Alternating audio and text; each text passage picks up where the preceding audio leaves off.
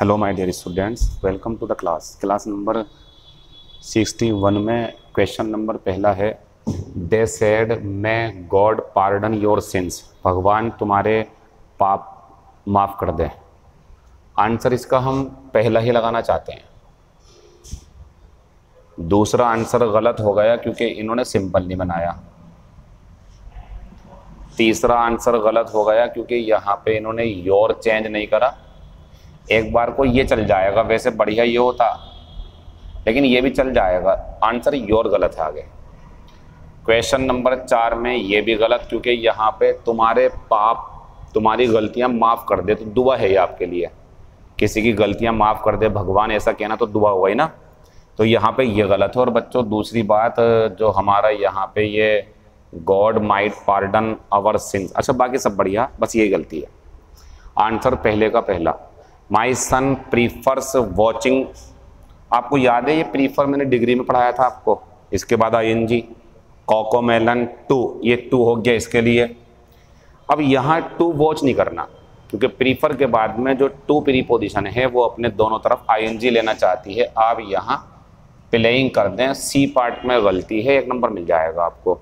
मेरा बेटा Cocomelon खेलना कोको मेलन देखना ज़्यादा पसंद करता है। खिलौने के साथ खेलने के बजाय, ट्रेन इज़ मोर प्रिफरेबल क्योंकि प्रेफरेबल अपने आप में ही कंपैरिजन दिखा देता कि ज़्यादा पसंद है तो यहाँ पर मोर नहीं आएगा। टू बढ़िया लगा हुआ है। Question number four our coach found me very smarter comparative degree और कंपेरेटिव डिग्री के साथ वेरी नहीं आता कंपेरेटिव डिग्री के साथ मच आता है। डिग्री के चैप्टर का रिवीजन करें, समझ में आ जाएगा आपकी।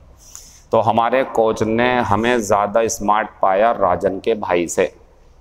क्वेश्चन नंबर पाँच। Yuvraj Singh is by far degree superlative सब में से निकाल रहे हैं डिग्री बढ़ी है, लेकिन यहाँ आपको द लगाना पड़ेगा, यहाँ। Yuvraj Singh is by far the strongest player of all Yuvraj Singh सभी खिलाड़ियों में सबसे ज़्यादा मज़बूत मतलब ताकतवर खिलाड़ी है। ही मस्त हैज़ आजकल ये एरर काफ़ी चल रही हैं। इसका ध्यान दें आप। सी डी एस का एग्ज़ाम हुआ, उसमें भी दो क्वेश्चन आए ऐसे। मॉडल के बाद जो आएगी, वो हैव आएगी, कभी हैज़ नहीं आएगी। He should have I should have you should have he will have तो मॉडल के बाद हैज़ का क्या काम है यहाँ पे? हैव आएगी ना, क्योंकि हैव वर्ब की फ़र्स्ट फॉर्म भी होती है। इसके बाद में फिर थर्ड फॉर्म आ जाएगी, अगर ज़रूरत पड़ेगी तो।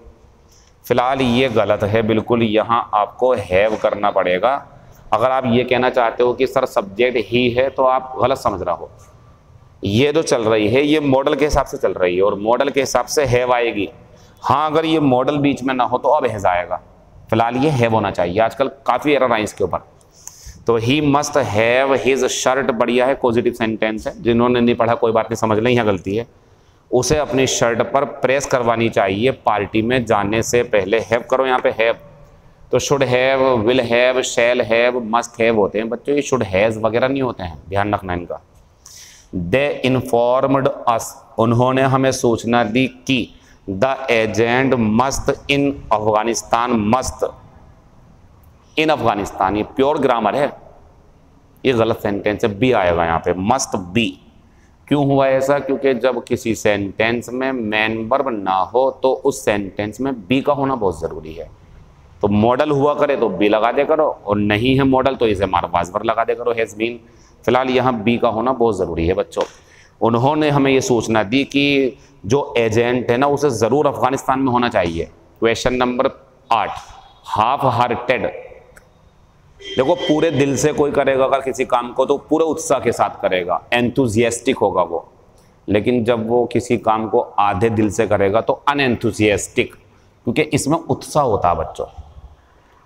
तो उत्साह की कमी होगी आधे दिल में। बाकी मत करना कुछ भी। आंसर है अनएंथुजियास्टिक उत्साह कम है, इसलिए काम को कर रहा हो। हाई टाइम का आंसर क्या हो सकते हैं? अप्रोप्रिएट टाइम ये ईडीएम भी है। तो हाई टाइम का जो आंसर है, वो है अप्रोप्रिएट टाइम मीडियम है ये। फिर आते हैं होल्ड वन टंग जीप पकड़ के देखो, आप बोल पा रहे हो, यही होता है इसका मतलब। ना बोल पाना टू बी साइलेंट आज का जो क्वेश्चन नंबर पहला है हमारा ग्रामर में, वो ये रहा बोर्ड पर आपके सामने। फिर क्वेश्चन नंबर दूसरा आएगा जीएस का। आज मैंने जीएस में टॉपिक चेंज किया थोड़ा सा, वो भी चलता रहेगा।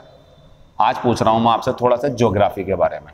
कैसी है आपकी ज्योग्राफी भूगोल कैसा है आपका? ये जानेंगे आज हम आपसे। पहले आप ज़रा इसका देख लें, ज़रा मामला क्या है। तो बच्चों, इसका है Rashmi was, more wise Rashmi was, more wise and more laborious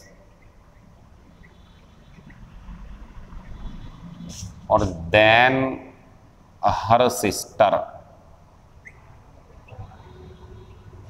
last में है नो एरर जो भी गलती हो, आप बताएँ और आंसर दें। आज का क्वेश्चन नंबर दूसरा है हमारे लिए। झरिया। भूगोल में लेकर आज्ञा मैं आपको अब। ऐसे इसके भी क्वेश्चन पूछूँगा, कुछ फिर आगे बढ़ जाएँगे। और चंद्रपुरा। कोयला क्षेत्र।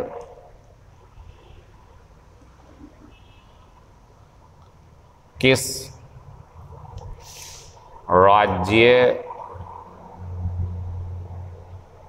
में स्थित हैं? ऑप्शन पहला है झारखंड ऑप्शन दूसरा है उत्तराखंड। ऑप्शन तीसरा है नागालैंड। ऑप्शन चौथा है गुजरात।